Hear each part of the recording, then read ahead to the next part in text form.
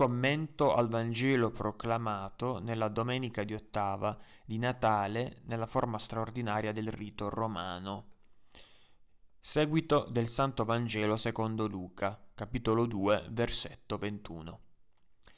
In quel tempo, dopo che furono trascorsi otto giorni, affinché il bambino fosse circonciso, fu chiamato con il nome Gesù come era stato chiamato dall'angelo prima di essere concepito nell'utero.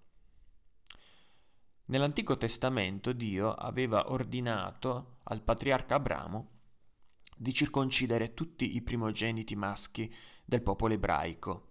Leggiamo infatti nel capitolo 17 della Genesi che Dio disse ad Abramo, da parte tua devi osservare la mia alleanza, tu e la tua discendenza dopo di te, di generazione in generazione. Questa è la mia alleanza che dovete osservare, alleanza tra me e voi e la tua discendenza dopo di te. Sia circonciso tra di voi ogni maschio. Vi lascerete circoncidere la carne del vostro membro, e ciò sarà il segno dell'alleanza tra me e voi. Quando avrà otto giorni, sarà circonciso tra di voi ogni maschio, di generazione in generazione, tanto quello nato in casa come quello comperato con denaro da qualunque straniero che non sia della tua stirpe. Deve essere circonciso chi è nato in casa e chi viene comperato con denaro, così la mia alleanza sussisterà nella vostra carne come alleanza perenne. Il maschio non circonciso, di cui cioè non sarà stata circoncisa la carne del membro, sia eliminato dal suo popolo, ha violato la mia alleanza. Questa pratica, che agli occhi dei contemporanei potrebbe sembrare barbara o dettata da mere ragioni igieniche, come spesso storici e antropologi tendono a ridurre, è in realtà il simbolo carnale dell'antica alleanza, trasformato con la nuova alleanza nel sacramento definitivo del battesimo, del quale la, cir- la circoncisione ebraica era una semplice immagine. A differenza del battesimo, tuttavia, la circoncisione non era un sacramento, ma un mero segno, un simbolo spirituale. Il significato spirituale della circoncisione è il seguente. La natura non è più santa, è stata corrotta dal peccato originale, che si trasmette di generazione in generazione con il concorso sessuale. Ed è necessaria una doppia azione per riportare la natura al suo stato di santità originaria. Da una parte, infatti, c'è l'azione di Dio con la sua grazia, ma c'è anche l'azione dell'uomo nella sua libertà e responsabilità. In tal senso, la circoncisione di Cristo assume un grande valore simbolico perché quel bambino non è un ebreo tra tanti. Gesù Cristo è colui che porta a compimento la promessa implicitamente indicata nel rito della circoncisione. Ecco perché, dopo la redenzione effettuata da Cristo sulla croce, il rito della circoncisione ha perso valore perché la promessa indicata da quel gesto, da quel rito, è stata portata a termine. Siamo nell'era di una nuova promessa, la resurrezione, annunciata e prefigurata nel battesimo, che in più ha anche l'effetto reale di cancellare il peccato originale e i suoi effetti spirituali. Questo stesso significato spirituale ci è indicato da San Tommaso d'Aquino con parole diverse. Nella Summa Teologe egli scrive La circoncisione, che si faceva tramite l'asportazione della membrana carnale del membro della generazione, significava lo spogliarsi della vecchia generazione.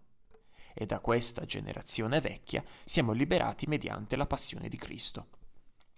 Spogliarsi della vecchia generazione significa appunto liberarsi dalla carne concepita nel peccato originale e proiettarsi verso il corpo glorioso e risorto futuro. Oltre alla circoncisione di Cristo, la Chiesa fa memoria e medita la purificazione di Maria al Tempio, La legge mosaica infatti imponeva alle donne di eseguire un certo rito, come leggiamo nel capitolo 12 del Levitico. Quando una donna sarà rimasta incinta e partorirà un maschio, sarà impura per sette giorni, sarà impura come nei giorni del suo ciclo mestruale. L'ottavo giorno il bambino sarà circonciso, la donna poi resterà ancora 33 giorni a purificarsi del suo sangue, non toccherà nessuna cosa santa e non entrerà nel santuario finché non siano compiuti i giorni della sua purificazione.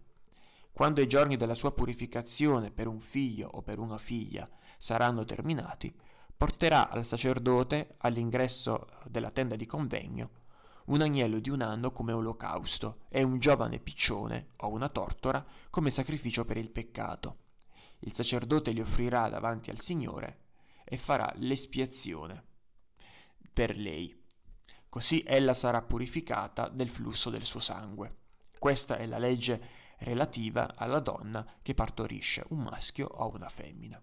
Se non ha mezzi per offrire un agnello, prenderà due tortore o due giovani piccioni, uno per l'olocausto e l'altro per il sacrificio per il peccato. Il sacerdote farà l'espiazione per lei ed ella sarà pura. Questo è quanto leggiamo appunto nel Levitico. Ed è interessante notare come la famiglia di San Giuseppe e della Madonna si trovasse in quel momento eh, della loro storia, della sua storia, in evidenti strettezze economiche, se, eh, come scrive l'Evangelista San Luca, gli animali che Giuseppe e Maria comprarono per il sacrificio rituale furono una coppia di tortore, appunto, o di giovani eh, colombi. Eh, lo leggiamo eh, nel Vangelo di Luca al capitolo 2, versetto 24. Cioè ehm, Giuseppe e Maria comprarono quanto prescritto dalla legge di Mosè per coloro che non avevano i mezzi per offrire un agnello, evidentemente più costoso da acquistare.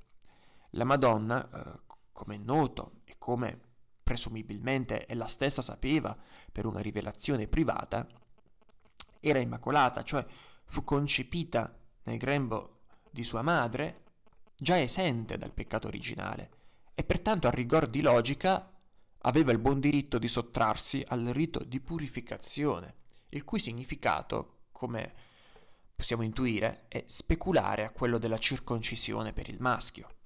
Ciò nonostante, così come Cristo si sottopose alla circoncisione, anche Maria volle sottoporsi alla purificazione, per mostrare obbedienza alla volontà e alla legge di Dio, ma anche per prefigurare il ruolo che lei, Maria, avrebbe avuto nella purificazione dell'umanità tramite il concepimento di un così grande Redentore.